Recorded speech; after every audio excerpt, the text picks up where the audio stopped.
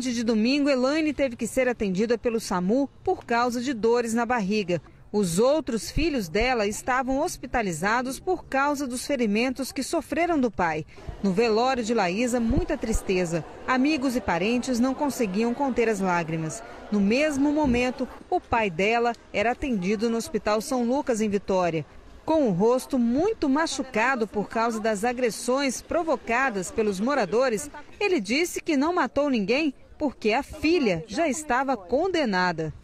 Deus me falou Estamos todos condenados, todos nós. E você não está condenado, não? Eu não. Você tinha que matar todo mundo? Não, não sei disso não. Tinha que matar todo mundo, não. Então você não está arrependido? arrependido de quê? De ter matado sua filha com a faca. É que você mata uma pessoa que já está morta. Quando estava apanhando da população, o Anderson disse achar que naquele momento iria para o céu, mesmo tendo tirado a vida da própria filha.